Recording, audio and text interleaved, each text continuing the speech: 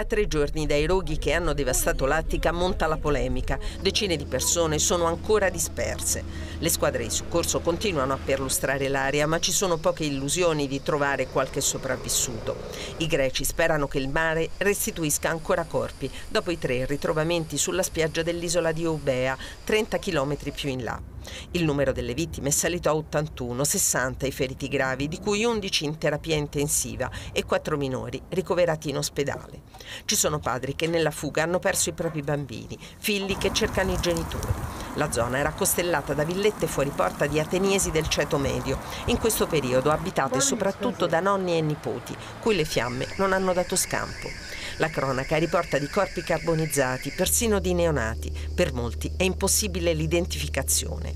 Due terzi delle case sono da demolire, la maggior parte erano fuori legge, con tetti di legno o prefabbricate. È lampante che non esisteva un piano di sicurezza. Irfe Mezzine.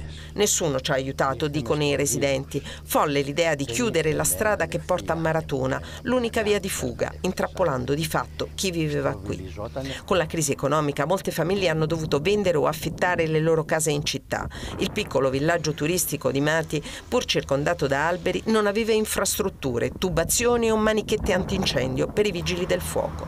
In 20 minuti è bruciato oltre l'80% di edifici e piante della zona.